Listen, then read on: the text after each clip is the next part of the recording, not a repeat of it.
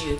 God, we come this morning standing in the gap for those who don't know how to come closer to you, God. We thank you for just this exercise of 15 minutes to spend time with you, God. We thank you for mercy thank you that your truth endures to all generations. So on today, God, we pray for those that are lost. We pray for those that are in the world without you, God. We pray for those that are searching, those that are thirsty, those that are hungry and don't even know what they're looking for, God. You said if you be lifted up, you will draw.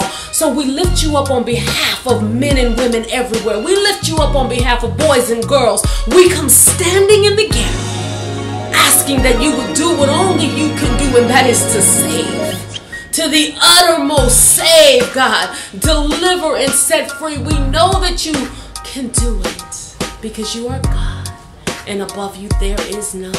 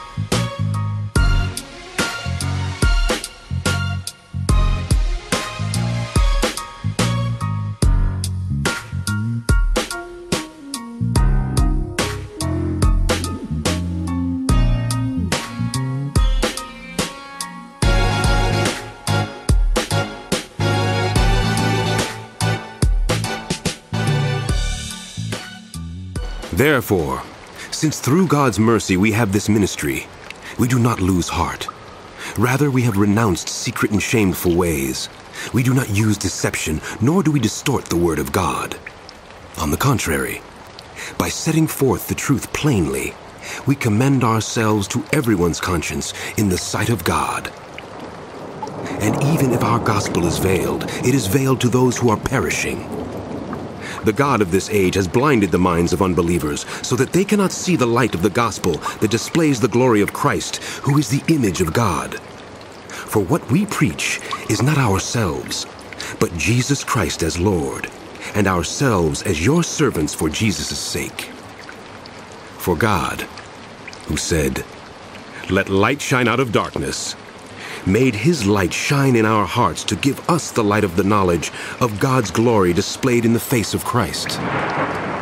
But we have this treasure in jars of clay to show that this all surpassing power is from God and not from us. We are hard pressed on every side, but not crushed, perplexed, but not in despair, persecuted, but not abandoned, struck down, but not destroyed. We always carry around in our body the death of Jesus, so that the life of Jesus may also be revealed in our body. For we who are alive are always being given over to death for Jesus' sake, so that his life may also be revealed in our mortal body. So then, death is at work in us, but life is at work in you. It is written, I believed, therefore I have spoken. Since we have that same spirit of faith, we also believe and therefore speak, because we know that the one who raised the Lord Jesus from the dead will also raise us with Jesus and present us with you to himself. All this is for your benefit, so that the grace that is reaching more and more people may cause thanksgiving to overflow to the glory of God.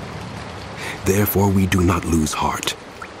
Though outwardly we are wasting away, yet inwardly we are being renewed day by day. For our light and momentary troubles are achieving for us an eternal glory that far outweighs them all.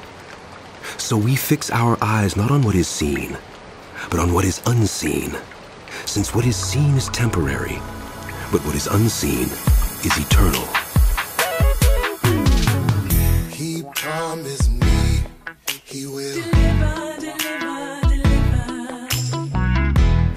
Me he will. Deliver, deliver, deliver. And I believe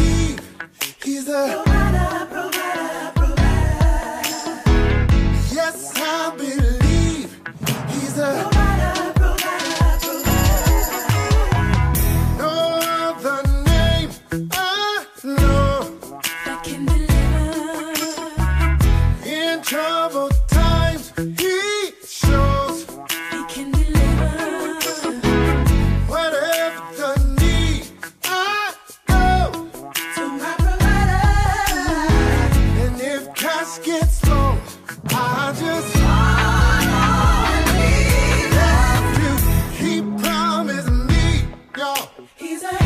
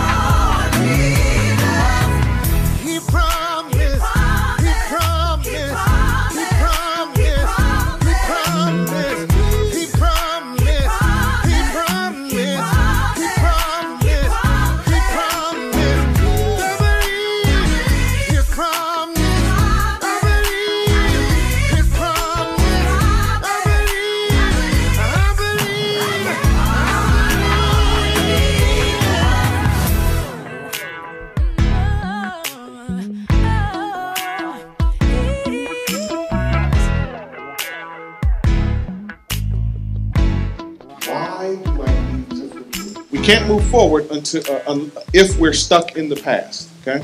Number one reason why we forgive. Uh, you forgive because God said so. Simple, right? God said so. Okay. You forgive because my forgiveness from God is tied to my forgiveness toward you. Right? My forgiveness from God is tied to my forgiveness toward you.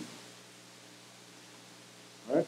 Now, let's begin to kind of break this down and look at it in much more detail. Because oftentimes, what I've discovered over all of these years in ministry is that when we talk about this issue of forgiveness, it's often misunderstood simply because we don't fully understand what forgiveness is and what it is not. And so I want to go into what exactly is forgiveness, right? Um, and so what I want to do is I want to start with what it's not, and then Dave is going to come back and talk about what it is. Here we go. Number one, forgiveness is not forgetting the offense. Okay? That whole thing, forgive and forget, it's a lie. Yeah. Don't please don't forget. That's how you learn. Okay? Don't don't ever don't let, ever let anybody tell you you're supposed to forget that. No, no, no, no, no. I ain't forget. I ain't forget nothing. I remember everything. Right? Because forget, forget, forget. For when you forget, you also forget what you learned. It's not denying the reality of the hurt. Right? That's not forgiveness. Forgiveness is not, I forgive you, and then, oh, well, I, I forgave her, so I'm over it. No. I forgive you, but listen, this hurts. It's not minimizing the seriousness of the offense. Listen, just because I forgive you, don't get it twisted. You were wrong and you did me dirty. Forgiveness has nothing to do with how you feel. I can forgive you and still not be feeling you. You forgave them then. You don't forgive them now. You have to continue your forgiveness. Your forgiveness runs out. And so what you have to do, you have to be, see, it's not, it's not, uh, let me say it this way. It's not committed to forgiving as much as it is committed to the process of forgiving. And that process of forgiving is sometimes, sometimes you have to do that every hour, depending on the offense. Sometimes you have to do that every day or every week or once a month or once every two or six, every six months or once a year. You have to go back and you have to reassess. And sometimes you have to forgive and re-forgive and re-forgive. And that's like when Jesus, when, when you know the text, right? How many times do I forgive, Lord? Seven? Jesus said, How about 70 times seven? Right? What he was getting at is he's not talking necessarily about new offenses. What he's getting at is you may have to forgive the same person over and over and over and over again for the same offense. Not that they've committed it again, but the issue is I, I didn't fooled around and nullified my forgiveness at a point. And so it's a part of the, it's a process.